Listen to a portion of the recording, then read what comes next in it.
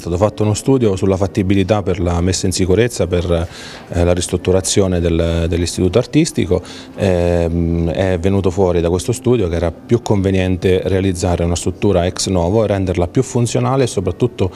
più adeguata alle esigenze eh, del corpo docenti e dei ragazzi che fruiranno di questa scuola. Più aule, eh, meno metri quadri, meno, una, meno metri quadri sulla struttura, come dicevo più aule e soprattutto più laboratori affinché i ragazzi possano sfruttare al meglio le potenzialità di questa scuola. Sono dei fondi sisma già precedentemente assegnati al, alla nostra provincia, ringrazio il progettista dell'opera, l'ideatore dell'opera gli uffici che comunque hanno fatto un lavoro enorme affinché la provincia potesse accedere a questo importante finanziamento di questi quasi 5 milioni di euro. È un'opera che comunque riqualificherà eh, anche la, la, la, diciamo la, zona in cui il liceo artistico è ubicato. È un, un, un evento importante anche per la città di Teramo perché comunque